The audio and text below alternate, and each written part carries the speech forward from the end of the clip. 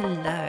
I've just seen the uh, um, Fantastical Beasts: The Secrets of Dumbledore, and it is very much about him. We do get to see a bit more of the Harry Potter world in Hogwarts, and there is little bits of um, Harry Potter stuff in there, like the secret room and stuff, and you know the the main the main chamber where they talk and stuff. Um, certainly, there's there's homage to that and that kind of thing. Uh, Nat has a really smaller role, I would say. He's not as big. Um, his friend, um, who's who's a normal human being who's not magical, is in it, and he has a very he has a bigger role in this one, I would say. Um, certainly, we get to see more Dumbledore's um, uh, brother and some of his family stuff. Um, certainly, that's interesting.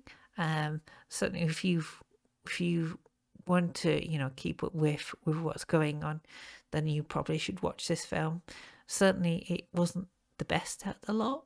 Um, I felt that you know it had some good parts and bad parts to it. It's certainly very dark. It certainly uh, puts onto the the whole thing what's happened in the last five years.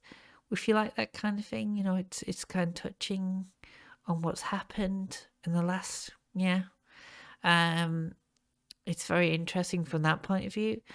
Um, there's certainly um, linked to the you know um, creatures, the magical creatures. Um, it did feel like it was like it was shutting across to different um, uh, roles, and uh, you know, it seemed like they were trying to fill a lot of people in um, from the wizardy world. Um, it seemed to be, you know, kind of.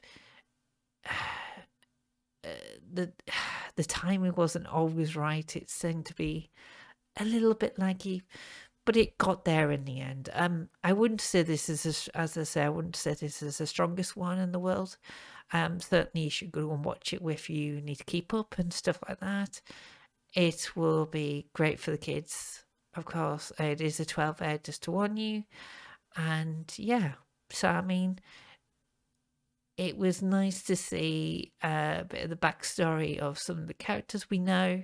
Um, and we do get to meet uh, uh, the brother again and that kind of thing. So, uh, yeah, yeah, it's, it's, it's pretty good.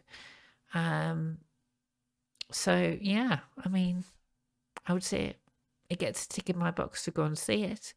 Certainly, um, I wouldn't say it's the strongest film, but definitely worth seeing. It obviously the graphics are always up to standards. It's a very typical film. You know what Harry Potter's like, guys. You know what it's like. So, um, do I think it's uh, do I think it's uh, the best one? No, no, definitely not. But um, it's all right. All right. Well, guys, I'm going to leave it for now at this, and I will see you next time. And uh, we might have some reviews up coming up soon. All right. I will see you for now. Bye bye for now. Bye.